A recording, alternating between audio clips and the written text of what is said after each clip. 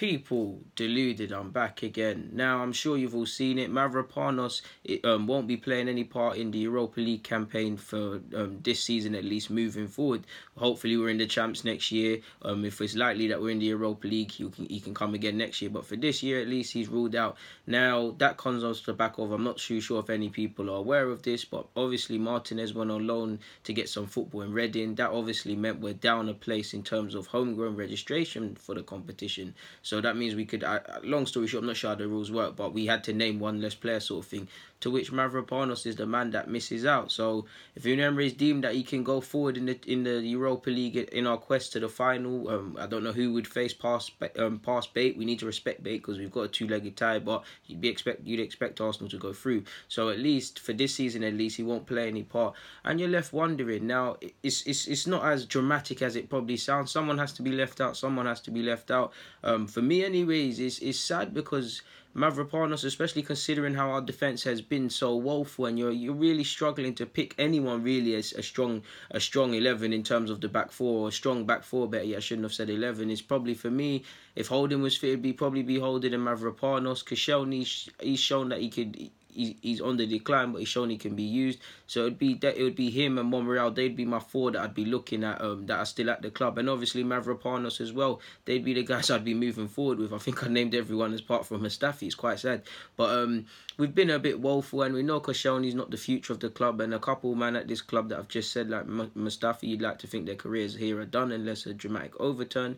Mavropanos is someone who's looking at to give get minutes or, or salvage some part in terms of the campaign, both in the Premier League and, and possibly in the Europa League moving forward. Now, he's only played 11 minutes of Premier League football. I know he's not been registered for Europa, but he's only played 11 minutes. We know last season he showed some promise. He obviously had some good games. The standout being against United. He obviously got sent off against Leicester. Forgive me if I'm wrong. So he's shown he's a rough diamond, and he's looking at this season to be the one he could build upon. It's not Unai Emery's fault or anyone's fault of his own. It's sad, but injuries and part are part and parcel. Better yet of the game. So he's been restricted with groin injuries, and I think he had another injury. And he what returned in December. We know he got some minutes um, yesterday actually. Um, against West Ham's under 23s, I believe, before the game got called off. He played in a behind closed doors friendly against Bournemouth, um, and he's been and he's obviously getting some minutes here and there. And it's sad for me, anyways. I know someone had to miss out. Um, people would point to probably Elneny because we know that's really Elneny's bulk of his um, minutes and appearances this season as the man to miss out. But if you look at it, I probably would incline to leave him out. But if you look at it I know it's not much people, but I guess Unai Emery probably deems that he's more experienced. Just on the case of bodies, I don't think Elneny is going to play a major part in the Europa League as we get serious. But I mean, he can be used as a sub, as, as a as a sub. He can be used as a um, obviously in his native midfield positions. Um, if push comes to shove, we could actually probably push him to play right back or, or centre half, such has been the case of our of our um of our thingy of our um of our campaign so far, just generally speaking. So that's probably why he's done it. For me, it's sad because we've had some injuries and things like that, and we're kind of down to our bare bones, and there's question marks over the back line. Um, I was looking at Mavropanos at least being in the squad, someone that if something happens, at least he can be called upon. So um, I don't really, I understand the thinking, of course, but it's just sad because you're looking at it now. It's, it's we've obviously left January. Mavropanos can't go out and loan and get some football. What was it? I'm so sure was it Wenger last season said Mavropanos might go on loan this season. Obviously that changed with Unai Emery and um, I'd say him and Holding actually won the battle out of the three with him, Chambers, obviously Mavropanos, Chambers and Holding. It looked like one had to go out on loan. Chambers went. Um, this season has been, I wouldn't say a nightmare, but it's been a kick in the teeth for him, man. He is lacking top level experience consistency, consistently. So you would have liked him to have got some, he still can get some minutes, but you would have liked him to have not been injured, but it is what it is. In terms of how he plays football, um, before I got sidetracked, in terms of his football, for, at least for, until May, um, you're looking at it, he's obviously not going to play in the Europa League. We're out of two cup competitions in the FA Cup and the Carabao so it has to come within the Premier League now. I'm not discrediting any side. I know we've got Wolves to, uh, don't quote me, but I'm sure we've got Wolves and Leicester away from home to come in the Premier League. On paper, it looks like favourable fixtures, depending on how you look at it. If you just look at the two teams, obviously away from home, Arsenal are shaky to put it nicely. Um, So to just, just just focus on how it looks on paper, you'd think he could get some games there, get some minutes, maybe blooded in. I don't. I want us to get top four, of course, people. But if it goes the other way and it's similar to last season, where we have to, I don't want to say right off the league, but like kind of just kind of contain it and play young players and things like that. Mavropanos can get minutes. He's obviously got to be patient, similar to Holding. Holding had to, Holding's had to be patient since he's joined this club, and he had to be patient this year, and he got his chance and he got a run in the side. Obviously, it sadly didn't end in the way everybody would have liked. Would like to have had him available, but yeah, man, Mavropanos, I don't know how much football he's gonna get um this season until the end. To be honest with you, I hope he gets some minutes in the Premier League. Obviously, came on against City, but um, was it City or Cardiff? Sorry, it was Cardiff. Sorry, forgive me if I'm wrong, but um, I want to put the the City result out of my head to be honest. But yeah, you're looking at is just hopefully he can get some minutes.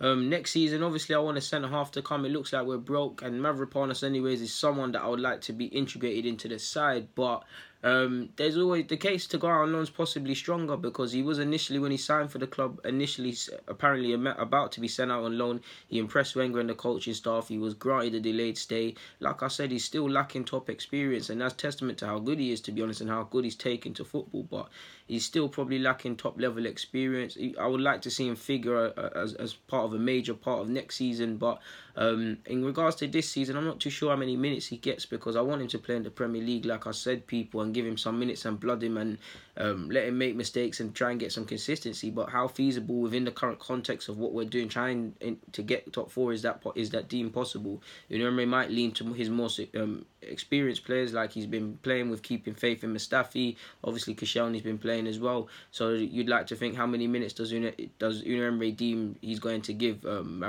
realistically? You'd also think if that's the case and he's struggling for football, he'd probably get a substantial amount of minutes at under 23 level. In fact, substantial is an exaggeration, maybe here and there just to keep fitness. Also, as well, we also can't rule out that we don't know. In, I know he's back from his he's back from his injury, but we don't know the status. We don't know the severity. We don't know the rehabilitation program he could have possibly be on. Maybe he, it's a thing where um, you know, and the coaching staff are saying he can figure, but it might not be the wisest to play him consistently because we don't know. You know, he might want to do that, and it's and he's thinking, all right, cool, kind of. I don't think it's this to be honest, but it's another way of looking at it. All right, cool. You're not really. It's not feasible for you to really feature in the Europa League. I'm going to do it this way.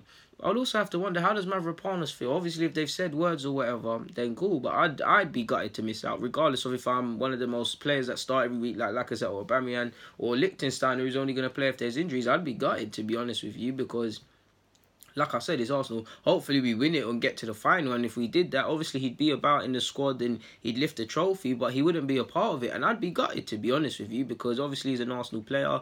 Fans haven't had much joy. Could be the only bit of joy we get if we don't get top four, and I'd be upset um, that I'm not part of it. Obviously, Emery is skilled with the uh, Europa League and how to get through it. At least on paper, he's skilled. He's been around the block in that competition numerous times. I'd be I wouldn't say it's a sporting decision, and obviously without knowing all the context, I can only comment on what I know. But I'd be gutted if I was a Mavropanos to a degree, man. I'd, I'd I wouldn't obviously it's not the end of the world, but I'd be gutted, man. It just make me work harder. Um, again, obviously he's it's, it's sad because he's it's, it comes down to the homegrown law. So I think in theory, um, let me get up people, but I think in theory, Peglo also can play. Um, I ain't going up. People forget we don't need it, but um, a lot of the academy players. So I think technically Medley and and, and Peg also can technically play in the competition and not Mavropanos. But the rules are the rules, and it also goes back to one of the videos. I have to be shameless and plug it that I said in regards to do we need to start looking at homegrown players with all the ones that could be leaving? Obviously, Ramsey on paper, it could be departing the club as well. Jenkinson, you need to remember, uh, another one that's registered still counts as homegrown. Do we need to start looking at them sort of players to um for obviously to get around things like this, which is also another catch twenty two in itself again, which I said in that in that video because obviously you want us to go for the holdings when he wasn't really known at Bolton and maybe to a degree Oxlade Chamberlain feel you kind of we kind of need to get them before they start banging because or, or Davy Brooks because you look at the potential now you look at them lads that are obviously Demarai Gray. Well, Demarai Gray was at, at Birmingham. You could have got him there. You're looking at if you believe they're this level or not, or worth it or not. You're looking at probably 50 million because of the English premium. You're looking at. I know he's not young, but he could probably fool Harry Maguire. You're looking at 50 plus. Maddison is probably not at that level yet, but such is the such as he's taken to Premier League level, and it's like admittedly it's like he's always been at Leicester, and I like him. You're looking at the same. Chilwell came through the academy, but you're looking at Leicester, but you're looking at the same price. So it's a catch twenty two really. Um, the caliber of players you'd think in terms of homegrown to build sides around, it's a premium. Are we then gonna be crafty and go for the what's that keeper man that um is it Turnbull that Chelsea had on the books for years? What's the one as well? There's another one, man. There's another one. Is it Stuart Taylor who is at City? Them guys there that are never gonna play, or if you could get centre halves that realistically won't feature, are we gonna sign players that just make up the fact that they're homegrown? For instance, um, to get around it. Um, Matt Macey's on loan at the moment, but he's what 24, 20, 23, 24, 25. He's a big man now. He's technically homegrown, so if we recall him and register him just for the squad, obviously it's selfish because from he won't probably feature that much in terms of football at any level and have to be subject to under 23s. But in terms of registering players, maybe it'd be wise to do that. Obviously, Martinez, if he's at the club and, and not loaned out, that's another one as well. But then again, that's just me naming two players coming in that are not currently named as far as I know at this time. But then I just said at the beginning of this, Jenkinson and Ramsey gone as well. So I think we can get around it. Obviously, technically on paper, who's homegrown people we've got um, that will be left.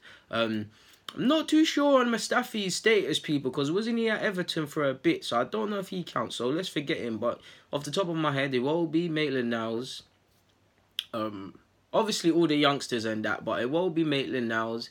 Nelson if he's here, and Emil Smith Rowe if he's here, Callum Chambers if he's here, Rob Holding if he's here, um, Bellerin technically as well, because although he's Spanish, he came through the academy if he's here. So we've got eight, to be honest with you. We can get around it. We can get around it, to be fair with you. Maybe I'm just exaggerating, but who knows, man.